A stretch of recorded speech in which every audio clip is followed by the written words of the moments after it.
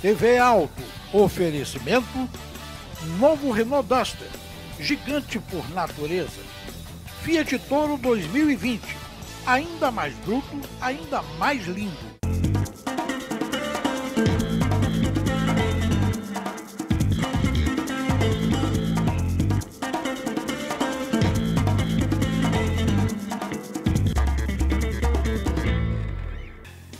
Bom dia.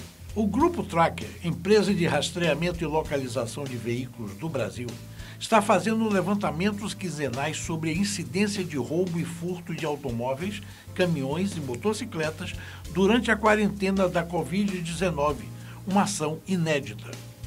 Foi constatada uma mudança de comportamento dos bandidos na pandemia. Comparando os modos operantes dos criminosos entre os dias 15 de março e 10 de maio, com o mesmo período do ano passado, a companhia apurou um aumento de 18% sobre furtos, com queda nas abordagens à mão armada.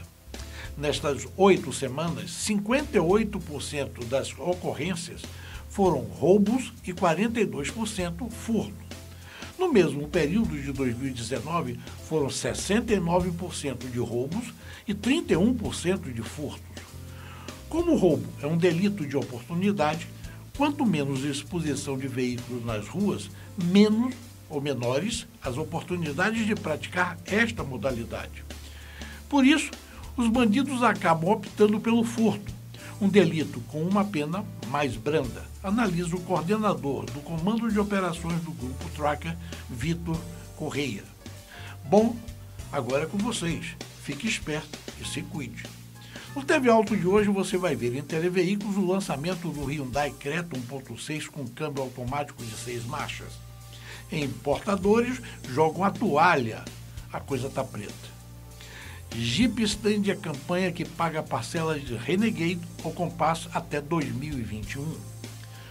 O lote do Audi R8 2020 foi pré-vendido em uma semana. Em dicas de serviço, faça o alinhamento dos faróis em casa. Em auto e teste, avaliação do Renault Duster CVT. Em da pesada, Mercedes-Benz traz novidades para a linha 0500. Em duas rodas, Triumph e James Bond chega às telonas. Em importados, Citroën AMI 100% elétrico. Bom, vou começar o TV Alto agora.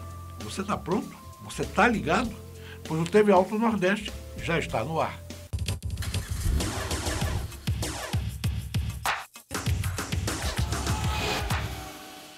A Hyundai começa a vender o Creta Action 1.6, equipado de série com câmbio automático de seis marchas.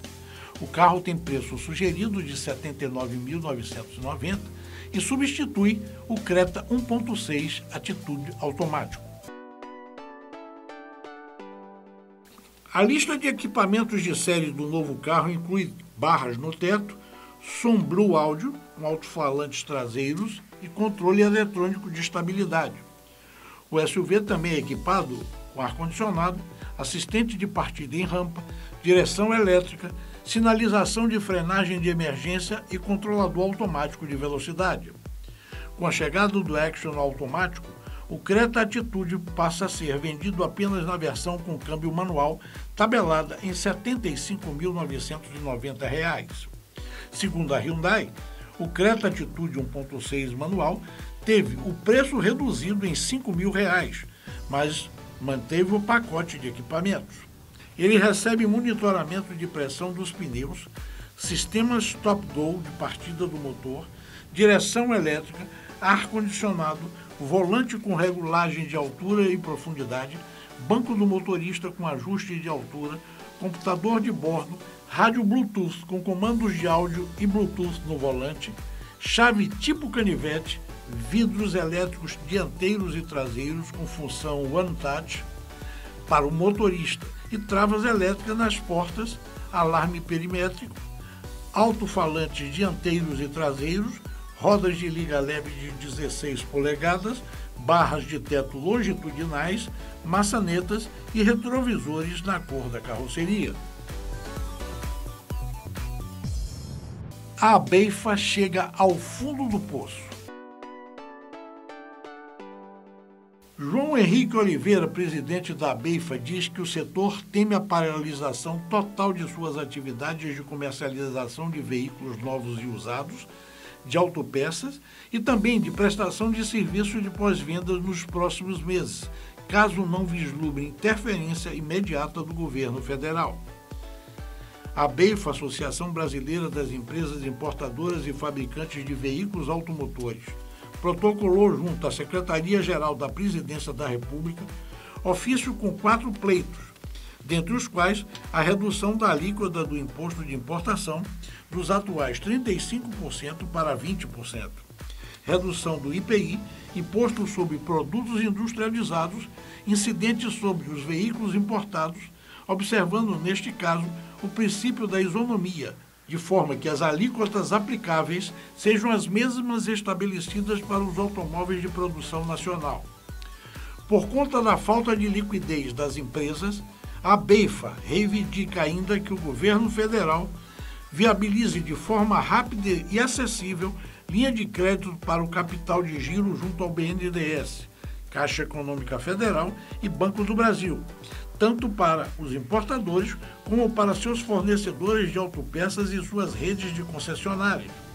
Em abril, as 15 associadas da BIF emplacaram apenas 750 unidades importadas, queda de 64% em relação a março e de 74% ante o mesmo mês do ano passado. Com esse resultado, o primeiro quadrimestre do ano fechou com queda de 24%, registrando este ano somente 7.915 emplacamentos. As 15 marcas associadas da BIFA são responsáveis por uma rede de concessionárias com 450 pontos de atendimento em todo o país, empregando 17.500 funcionários.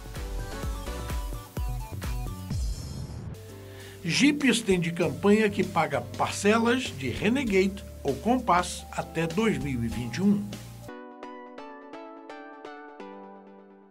A Jeep prolongou a campanha que pagaria até oito parcelas de quem comprasse o Renegade ou Compass. Inicialmente pensada até maio, agora ela vai até 4 de junho. Isso significa que a marca irá pagar as parcelas do carro até 2021. O lote do Audi R8 2020 foi pré-vendido em uma semana.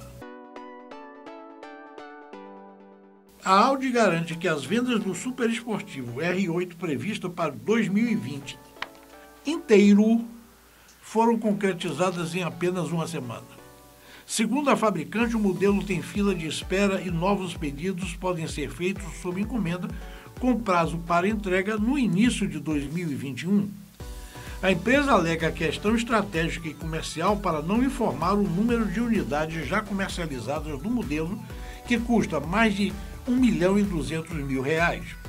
A produção será iniciada nas próximas semanas e a previsão é que os veículos do primeiro lote reservado pelos consumidores brasileiros sejam entregues em setembro, sempre de acordo com todas as orientações do Ministério da Saúde. Bom, está na hora dos comerciais, segura aí um minuto que você vai ver em dicas de serviço. Faça o alinhamento dos faróis em casa. Em alto e teste avaliação do Renault Duster CVT. Segura aí, eu volto já já.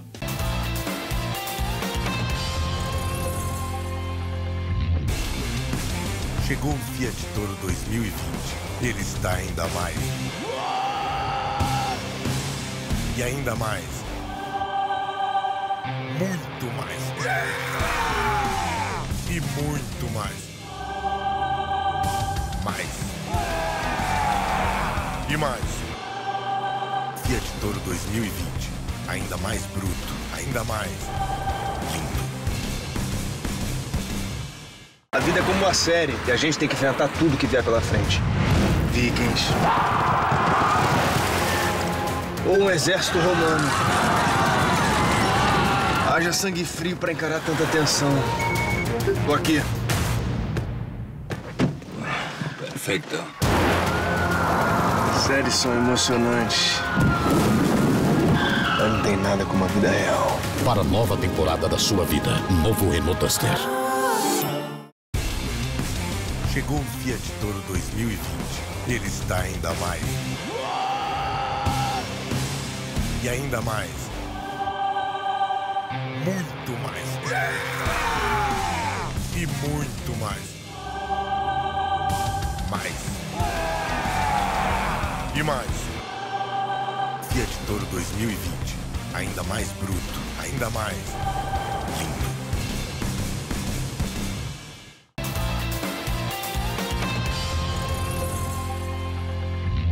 Faça você mesmo o alinhamento dos faróis do seu carro.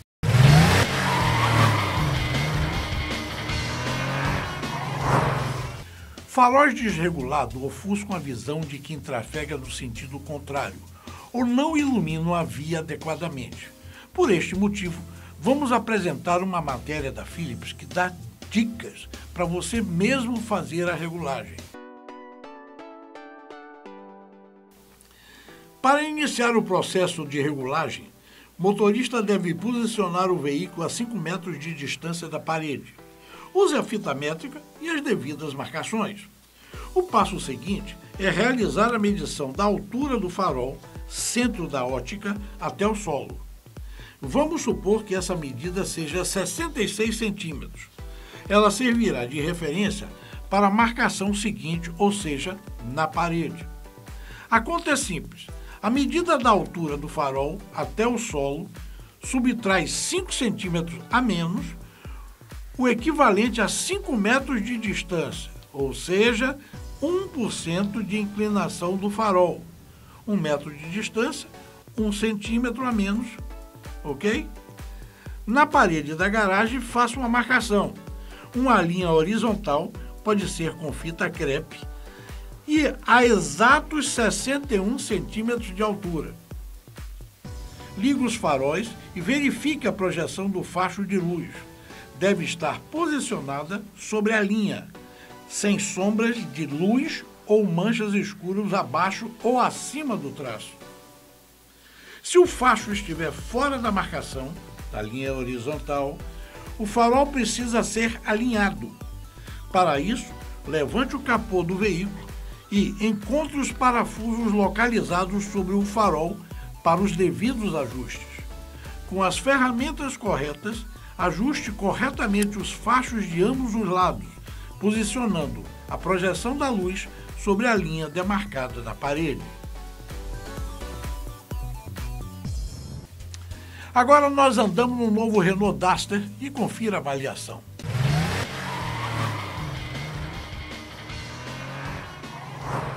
A avaliação do Renault Duster 1.6 16 válvulas SCE CVT. O Renault Duster Dynamic 1.6 16 válvulas SCE CVT continua sendo imbatível em termos de custo-benefício. Outro destaque do Duster é a carroceria. Com dimensões generosas e que garantem um amplo espaço interno, tanto para os passageiros quanto para as bagagens. O porta-mala tem 475 litros.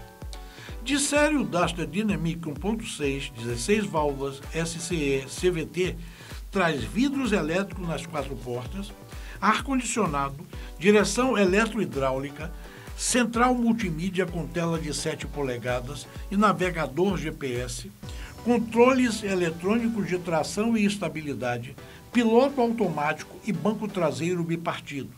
Ao volante, o Duster deixa claro seu apelo mais próximo dos SUVs tradicionais do que dos crossovers. A suspensão é macia e trabalha silenciosamente mesmo em pisos irregulares, transmitindo uma sensação de robustez. A direção com assistência eletrohidráulica não é nenhuma Brastemp, mas não incomoda em manobras de estacionamento.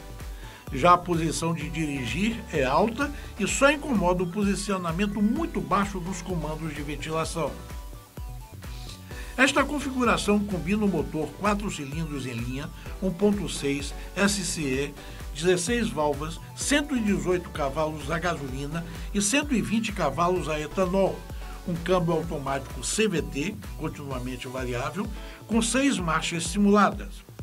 O torque é de 16,2 kgfm, vem com tanque de combustível de 50 litros flex.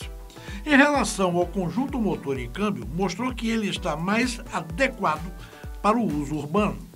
A transmissão CVT tem funcionamento suave, mas os 1.240 kg do Duster exigem que o motorista abuse do acelerador para extrair força do motor em ultrapassagem e retomadas de velocidade. Nestes casos, ajuda o fato do câmbio contar com modo sequencial, com trocas de marchas na alavanca. O consumo de combustível na cidade é de 7,1 km com etanol e 10,3 km com gasolina. O consumo na estrada é de 7,9 km com etanol e 10,8 km com gasolina, o que consideramos bom. Nossa conclusão é que o Duster é um automóvel perfeito para famílias que necessitam de bastante espaço, mas sem pagar muito. Bom, tá na hora do comercial, segura aí um minuto, pois em Da Pesada, Mercedes apresenta novidades na linha de ônibus, em duas rodas, a Triumph e o Cinema. Em importados, Citroën AMI 100% elétrico. Segura aí, eu volto já já.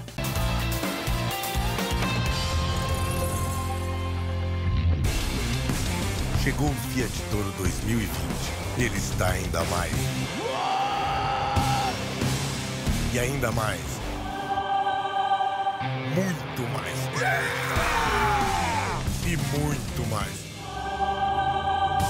Mais. E mais. Fiat Toro 2020. Ainda mais bruto. Ainda mais. Lindo. Chega um novo TV Alto nas manhãs de sábado na tela da Band. Um programa que traz as novidades do mundo automotivo, conectando você à televisão, internet e rádio. Tudo de uma forma simples e dinâmica, com uma equipe com os melhores profissionais. Nós somos o TV Alto e estamos na tela da Band. Chegou o Fiat Toro 2020. Ele está ainda mais. E ainda mais. Muito mais. E muito mais. Mais. E mais. Fiat Toro 2020. Ainda mais bruto. Ainda mais. Lindo.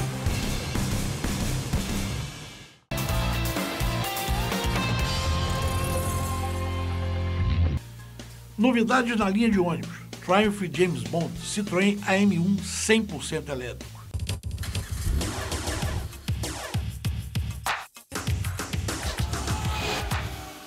A Mercedes-Benz está apresentando um pacote de novidades para sua linha 0500 de ônibus rodoviários.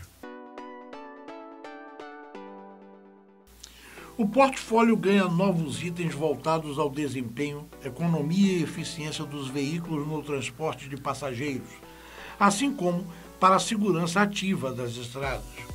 Foi desenvolvida uma versão de 430 cavalos do motor OM 457 LA da linha O500, com excelente performance e baixo consumo de combustível.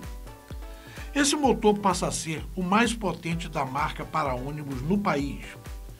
Com um novo motor de 430 cavalos, a Mercedes-Benz traz para o mercado os inéditos modelos O500 RSD 2443 6x2 e o O500 RSDD 2443 8x2. Também ainda apresentou outro lançamento para o segmento rodoviário, o O500 RS, com peso bruto total de 19.600 quilos, que permite a instalação de carrocerias de 14 metros, atendendo à nova legislação do CONTRAN. Outra grande novidade da marca para o segmento rodoviário está voltada ao 500 RS-DD, que se torna o primeiro ônibus rodoviário 8x2 do mercado brasileiro a vir equipado com piloto automático adaptativo e sistema de aviso de faixa, como itens de série. O aumento de potência do motor O M457LA agora tem 430 cavalos a 2.000 rotações por minuto e a 2.100 Nm a 1.100 rotações por minuto. O mercado estava solicitando um ônibus mais potente, especialmente para carrocerias DD, Double Decker, e HD, High Decker, de 14 e de 15 metros, destaca Walter Barbosa. A maior potência traz um ganho de eficiência nos motores de ônibus mais pesados, levando a um melhor desempenho em topografias mais severas. Além disso, somando-se a outras medidas, como o pacote Full Efficiency e o estilo de condução do motorista, pode-se chegar até 10% de economia no consumo de combustível. As motocicletas Triumph e o cinema.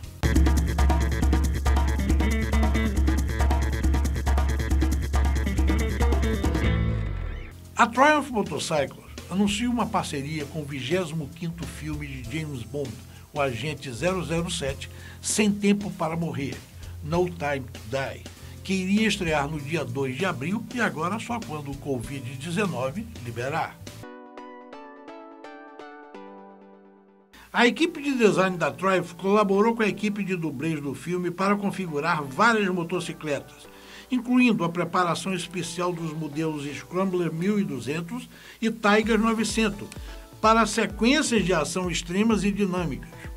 A Triumph é uma das marcas de motocicletas mais utilizadas pelo cinema em sua história.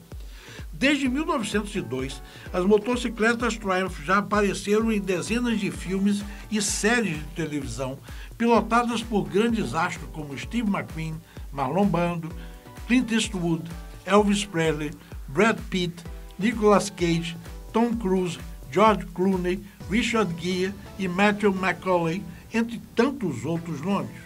Um dos grandes fãs da marca e das motocicletas, de um modo geral, foi o ator norte-americano Steve McQueen, morto em 1980. Motociclista experiente e ousado, ele chegava até a dispensar o uso de dublês. Em 63, no filme Fugindo do Inferno, McQueen protagonizou, a bordo de uma clássica Triumph TR-6 Trophy, a famosa cena em que tenta saltar sobre a cerca na fronteira entre a Alemanha e a Suíça durante a Segunda Guerra Mundial. Marlon Brando, por exemplo, marcou época em 1953, pilotando uma Thunderbird 6T no filme O Selvagem. Marlon Brando influenciou gerações de jovens com seu personagem Johnny Stabler, um bad boy, líder de uma gangue de motociclistas, sempre vestido com jaqueta de couro, um boné e pilotando sua Triumph de 1950. Tom Cruise apareceu pilotando o modelo Triumph Speed Triple em Missão Impossível 2, no ano de 2000. Seis anos depois, em Missão Impossível 3, com a Triumph Scrambler. Outro exemplo clássico é o filme Meu Nome é Coogan, de 1968, no qual Clint Eastwood é um xerife durão que sai em perseguição de um assassino por Nova York a bordo de uma Triumph Daytona. Outros exemplos da presença bem-sucedida da Triumph nas telas do cinema são Juventude Transviada em 1955 com James Dean pilotando uma Tiger T-110, A Força de um Destino de 1982 com Richard Gere a bordo de uma Bonneville, Nenhum Lugar para Correr, em 1993, apresentando Jean-Claude Van Damme, também numa Bonneville, e Como Perder um Homem em 10 Dias, em 2003, no qual Matthew McConaughey e Kate Hudson aparecem andando juntos numa Triumph Bonneville. Citroën AMI One Concept a visão da Citroën sobre a liberdade na cidade.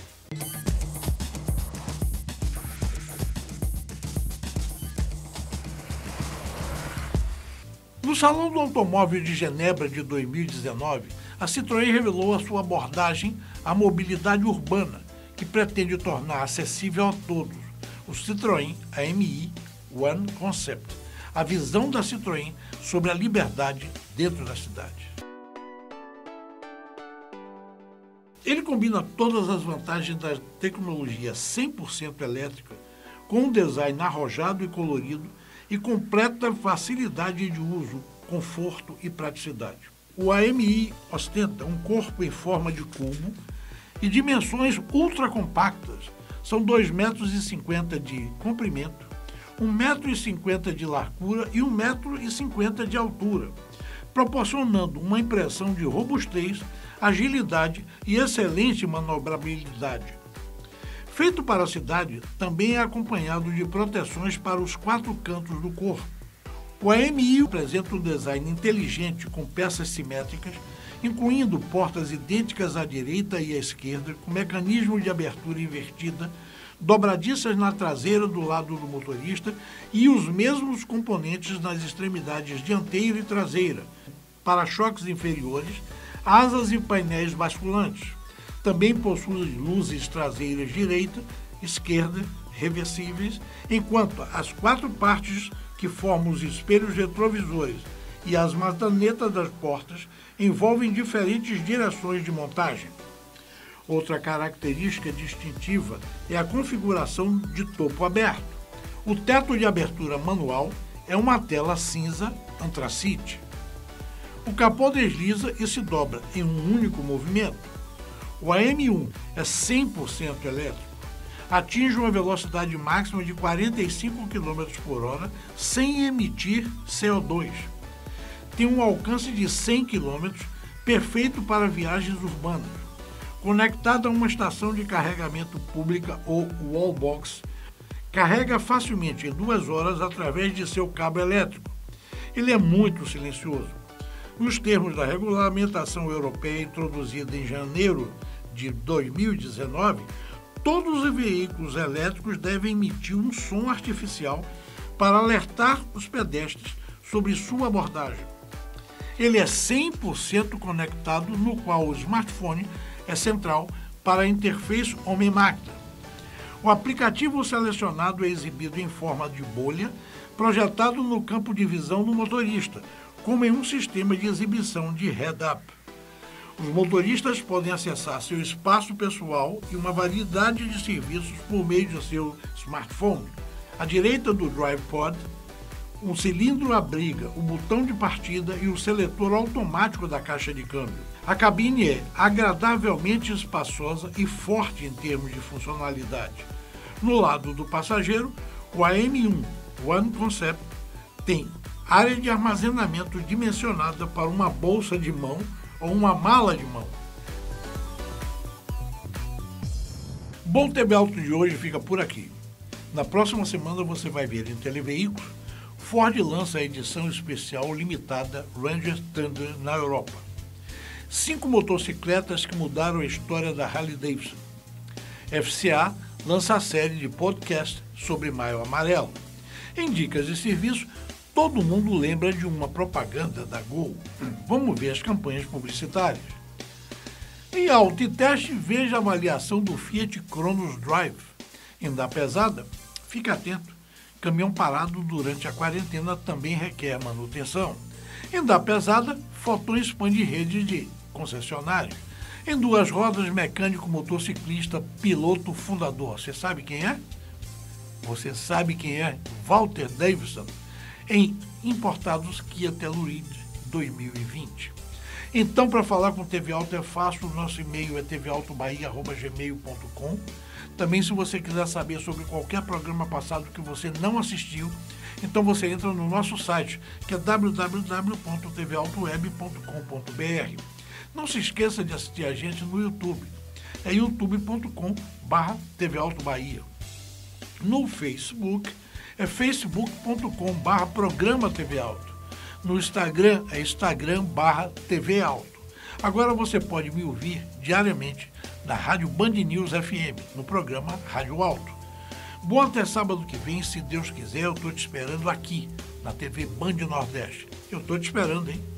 TV Alto, oferecimento, novo Renault Duster, gigante por natureza. Fiat Toro 2020, ainda mais bruto, ainda mais lindo.